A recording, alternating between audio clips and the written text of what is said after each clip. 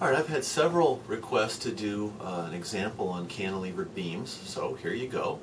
I've set up a problem where we've got a cantilevered beam two meters long, and we have a weight hanging in the, from the end of it, say a person, say, I don't know, a middle-aged college professor, and the weight is 930 newtons because the professor eats at McDonald's too often. Um, the width of the cross section is 100 millimeters, or around 4 inches, and the depth is 75 millimeters, about 3 inches. And I assume the beam is made out of uh, hardwood. I looked up the number for rock maple, which is a particularly hard kind of wood, and the elastic modulus is high for wood anyway. The elastic modulus is 10 gigapascals. And what I want to do here is I want us to find the deflection at the end of the beam. And we're going to do this using integration. First thing we're going to have to do is we're going to have to find the uh, area moment of inertia of the beam. Now remember there's two things that tell you how stiff a beam is, how resistant it is to deflection.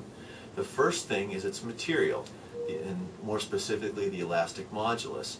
So if the elastic modulus of this wood is 10 gigapascals and the uh, elastic modulus of steel is 200 gigapascals, all other things being equal, the steel beam would be 20 times as stiff because 20 times 10 is 200.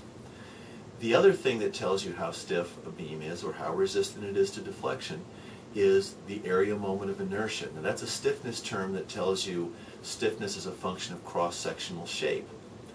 Um, if you go through the calculations, you'll see that a beam that's very deep, as is very tall, is much, much stiffer than a beam that's uh, the same beam laid on its side that's wide. So area moment of inertia tells you stiffness due to geometry, and elastic modulus, E, tells you stiffness that's a function of material.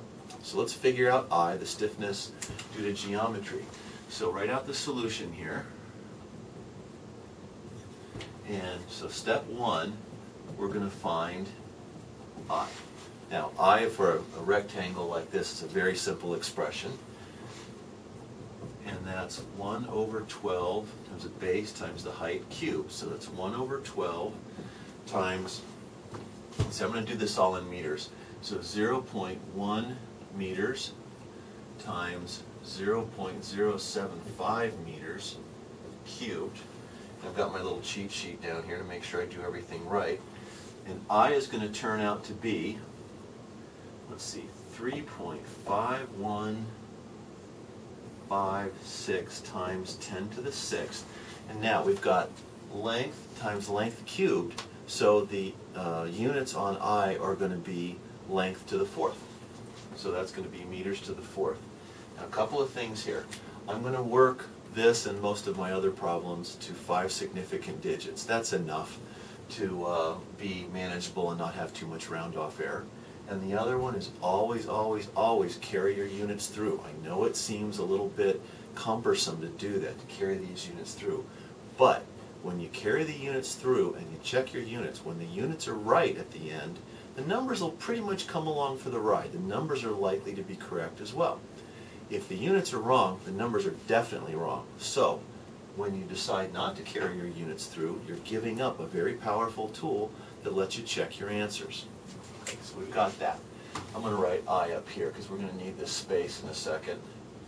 3.5156 times 10 to the minus 6 meters to the fourth. Now that's a really small number, and the reason that's a really small number is we're multiplying by meters to the fourth, and a meter's big distance, meters this long. So that's, that's probably correct. That we don't need to worry about that. Found I. Now, the next thing we're going to need to do is draw the load shear moment diagram.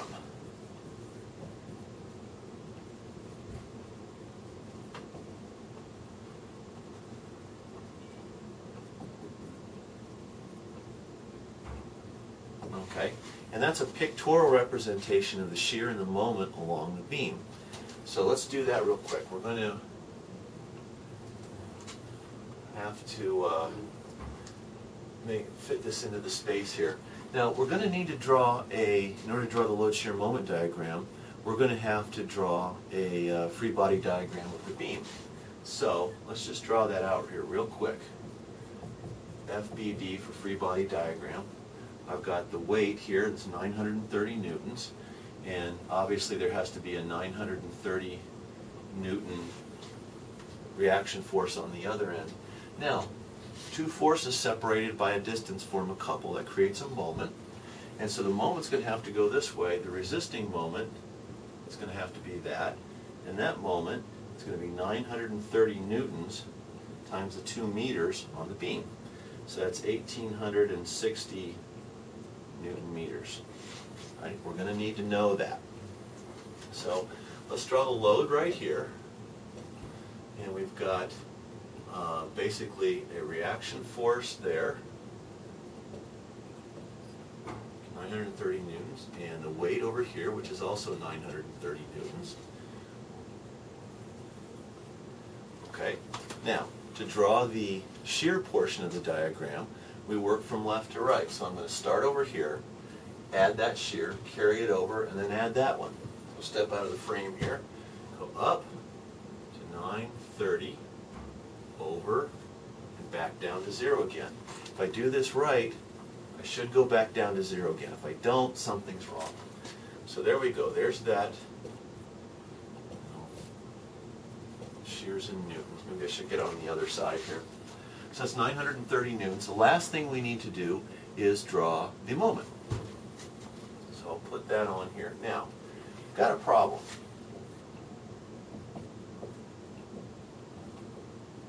I generally use that coordinate system, and I'd like to here as well, but when you're dealing with beams that have moments like that, like our reaction moment, there are two coordinate systems being used in the same problem. We generally use what's called the designer sign convention, and the designer sign convention is this. Let me write it, I don't know, right here.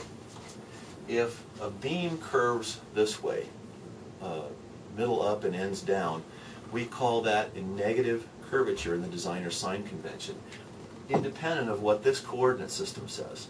Okay? If the beam is concave up rather than concave down, we call that a positive moment or positive curvature. So there needs to be some convenient way to memorize this. Now I'm going to write down the stupidest thing I've ever written down on the board. That, let me do this, my pen just went dry. Right there.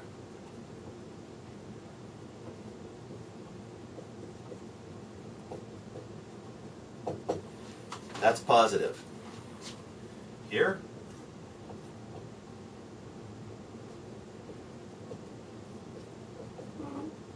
that's negative. Now, that's a silly way to remember it. Believe me, you're going to remember it. All right, so there you go.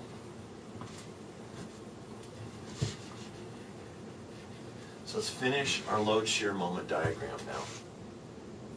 Draw this in. Okay, so I'm going to go now to a negative moment here due to designer sign convention. And that's what this looks like.